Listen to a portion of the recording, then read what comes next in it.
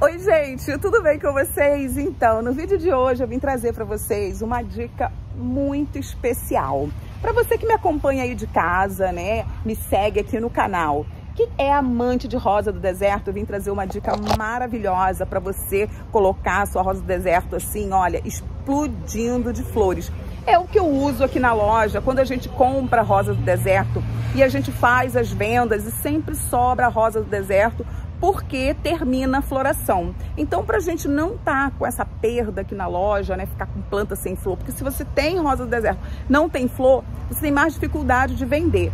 E o que, isso é o que acontece aqui comigo na loja. Em casa, o que, que acontece com, com o cliente, né, com o consumidor? comprou uma rosinha do deserto aqui na loja ou em outro lugar, né? Você levou para casa, comprou a rosa do deserto maravilhosa lá, toda florida, explodindo de flores. Nossa, não tá nem aguentando de tanta floração, de tanta flor. Só que depois que você chegou em casa com essa planta, que acabou a floração, a sua rosa do deserto passa a dar apenas assim duas florzinhas, três florzinhas, começa a ter aquela floração mais fraquinha. Toda rosa do deserto, ela vai florir. Se você colocar ela lá no sol e tudo, ela vai florir. Mas o que, que acontece é quando você coloca um fertilizante, que é o que a gente usa aqui na loja, né?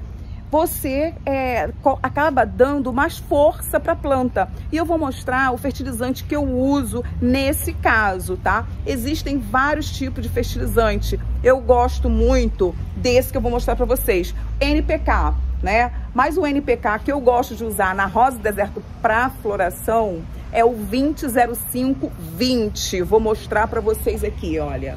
É o 200520, que é um fertilizante mineral misto, olha, 200520. Ele é NPK também, mas Verônica tem o NPK, o 101010. Tem, gente, tem sim.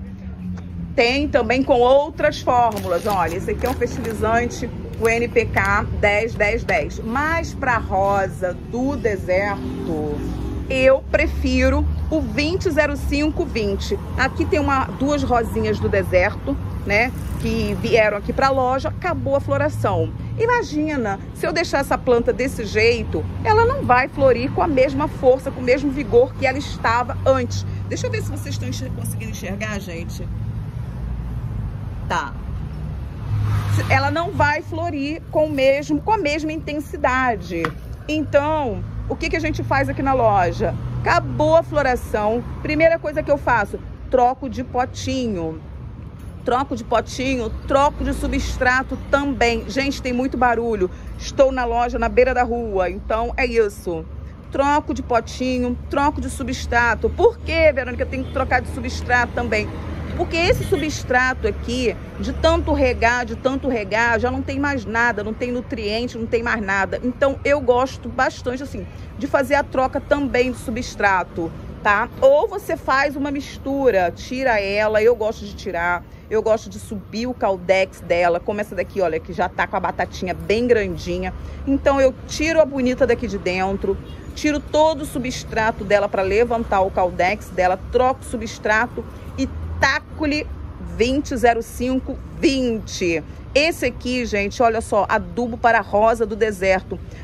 Tem alguns 200520 que não vem, né, especificando que é para rosa do deserto. Esse aqui sim. Mas essa dica quem me deu foi um um produtor, né? Um produtor de rosa do deserto em Olambra. Ele falou, Verônica, eu, eu contei, né? Porque no início, gente, da minha loja, deixa eu virar para cá. Ah, meu Deus, estou de óculos porque eu não tava conseguindo enxergar. No início da minha loja, o que, que acontecia? Eu não tinha tanta experiência, né? Porque são muitas plantas, são muitas flores, então você não, não é que você sabe tudo. Eu não sei tudo até hoje.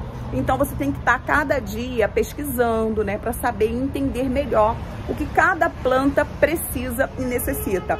No caso da rosa do deserto, eu acho que ela é, é, fica mais forte, né? A floração dela fica mais bonita quando eu dou esse fertilizante para elazinha, que é o 200520. Então eu troco e fertilizo com 200520, né? Como eu expliquei que tem o 10, 10, 10, mas esse aqui eu acho que possui é, o necessário para ela. Vou falar um pouquinho do 200520, né? Que é uma das diversas formas do NPK. Contendo os principais nutrientes para as plantas, gente: nitrogênio, fósforo e potássio. Como que a gente sabe? O primeiro é o nitrogênio, o do meio o fósforo e o da pontinha é o potássio. Esse do meio 0,5, que é o fósforo, né? Ele tem menos quantidade, porque ele é responsável, é, ele é ótimo para quando a planta está em crescimento. Então, como tem mais o 20, o 20, são esses dois númerozinhos aqui são maiores, né? Que é o nitrogênio e o potássio, nitrogênio e potássio, que é responsável pela floração e frutificação. Ah, então também posso botar em frutífera, Verônica? Pode sim. Gente, eu expliquei assim mais ou menos a, modo, a grosso modo, tá bom? É assim que a gente olha, tá? Então, por isso, por esse motivo aqui, que como é uma planta que não é que está em crescimento, mas ela está precisando é ficar forte para florir, então ela necessita mais desses, do, desses dois aqui, olha. Desses dois aqui, que é o nitrogênio e o potássio, tá? Agora eu vou mostrar para vocês também aonde eu uso o 200520. Você pode também pesquisar, tá? Aí na internet, melhor, porque eu expliquei assim mais ou menos, tá, gente? Expliquei mais ou menos, ou menos. Então, além de eu usar nas rosas do deserto, que eu amo, amo, amo, amo, amo, porque as, as flores vêm muito mais bonita, muito mais forte, eu uso também nas frutíferas, em outras plantas. Mas isso são plantas, tá, gente? Quando eu uso o 200520 quando a planta já está em crescimento, está em fase de floração, está em, em, fase com frutinho já e precisa dar aquele boom, aquela guaribada, é ali que eu boto o 200520. Eu uso também bastante o 101010, tá? Mas esse 200520 eu adoro usar em plantas com flores e frutíferas. Hoje é dia, eu resolvi fazer esse vídeo porque como é dia, hoje é dia de fertilizar algumas plantas, inclusive eu vou fazer a fertilização, vou colocar nessa, nessa bonita aqui, que é a minha camélia. Olha aqui, ela tá cheia de botãozinho. Mas se eu deixar por conta da dona camélia aqui, ela vai ficar com esse botãozinho, e falei, ó, meses, e vai demorar a abrir. E se eu coloco 10, 10, 10, eu sinto que ela demora também a abrir.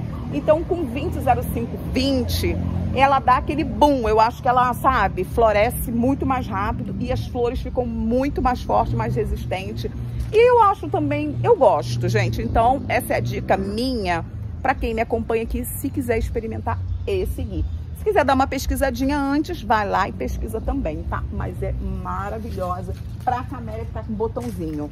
Imagina vocês, olha só, essas, essas bonitas aqui, olha, gente chegaram aqui na loja. Olha só como é que elas estão toda florida, toda florida. Se cair essa flor, essas flores aqui toda, se eu deixar cair tudo, daqui a pouco tá pelada. Embora, embora essa, esse tipo de planta aqui, isso aqui floresce aqui, dá igual chuchu na cerca.